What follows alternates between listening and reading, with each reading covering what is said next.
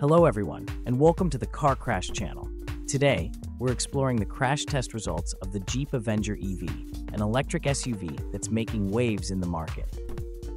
In the frontal offset test, the Avenger's passenger compartment remained impressively stable, ensuring good or adequate protection for the driver and front passengers' critical body areas.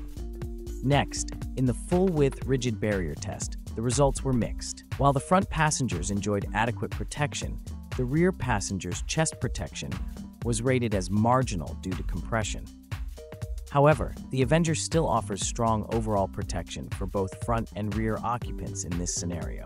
The side impact tests, both the side barrier and more severe side pole impacts, showed that the Avenger performs exceptionally well. It scored maximum points, providing good protection to all critical body regions. However, control of excursion, which measures how much a body is thrown to the opposite side during a crash, was found to be marginal. This is an area Jeep could improve to enhance passenger safety even further. One area where the Avenger shines is in its advanced emergency systems. It features an e-call system that automatically contacts emergency services in the event of a crash.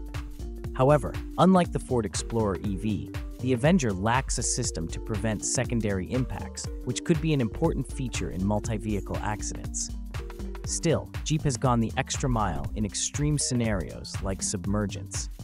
They demonstrated that the doors would be openable, allowing occupants to escape in case of water-related emergencies. All in all, the Jeep Avenger EV offers solid protection in a wide range of crash scenarios. While there are areas for improvement, especially in terms of far side impact protection, it's still a strong contender in the electric SUV safety market. Stay tuned to our channel for more updates on the latest crash test results and let us know your thoughts on our video in the comments below. Don't forget to like, subscribe, and hit the notification bell